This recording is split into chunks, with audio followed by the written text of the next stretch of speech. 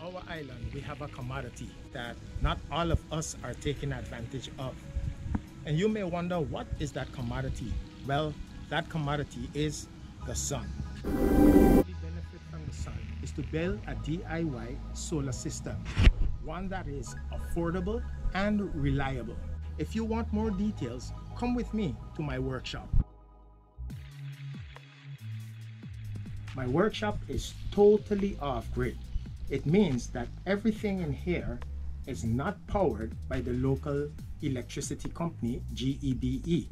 It is powered by this Datou 2 kilowatt 12 volt pure sine wave inverter. You can run all your sensitive equipment like smart TVs, laptops, refrigerators off of this inverter. Besides the inverter, your system will need a charge controller.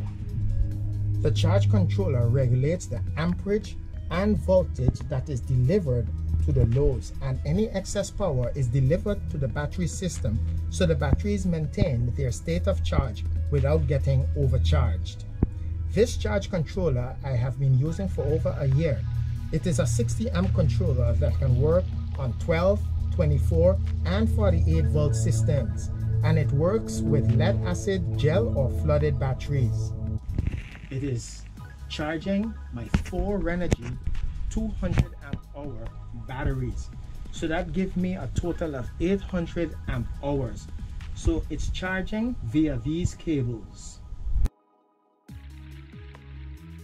On the roof, I have four solar panels, each of them 100 watts bringing me to 400 watts of solar panel input.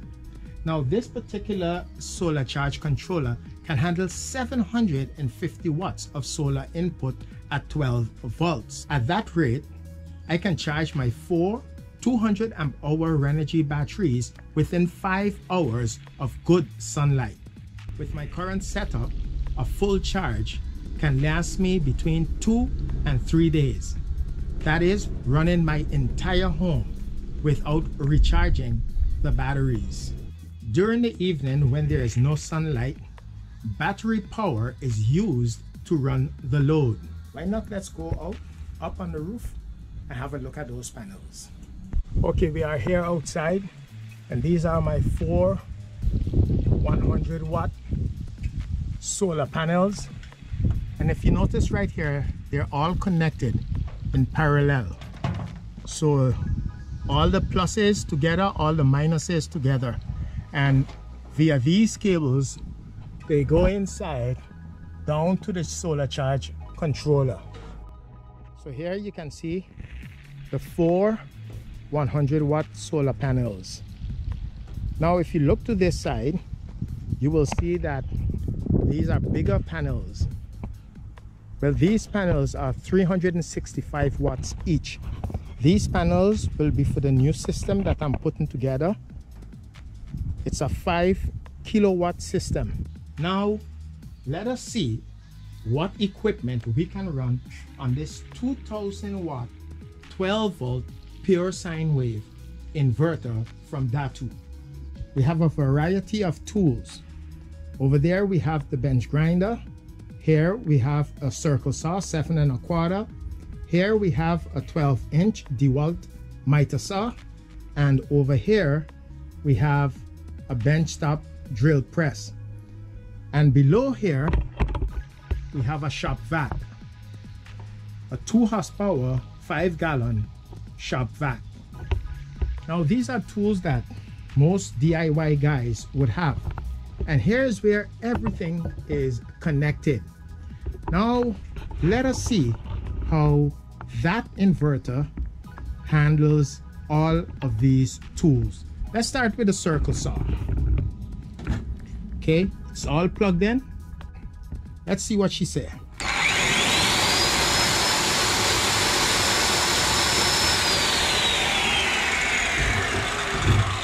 Sounds good. The bench grinder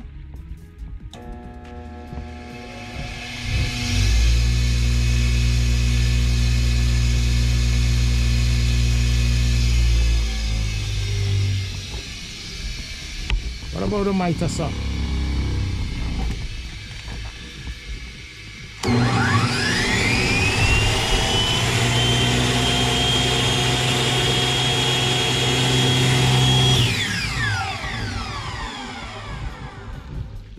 And now the drill press.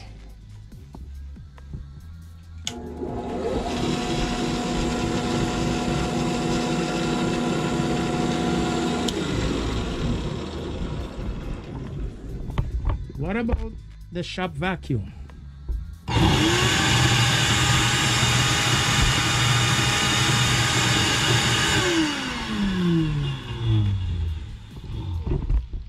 The tools ran flawlessly.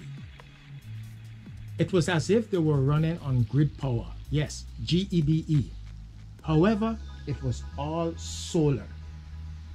This is a simple DIY setup. A system like this could easily be turned into a mobile system.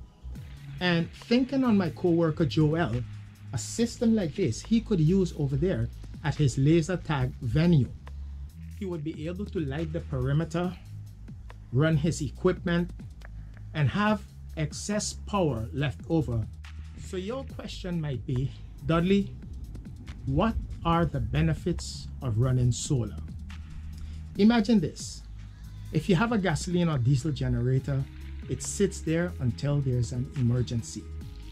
Running it every day could become very costly. However, with a solar system or even a portable solar generator, you can use this on a regular basis. And this is one way you can cut your utility expenses. Just think of it. Building a system that helps you save money. Most of the parts that I have acquired, I purchased them online.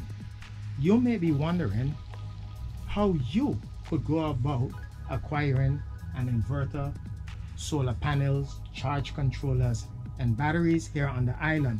Try MTech, Electech, Budget Marine, and Island Water World.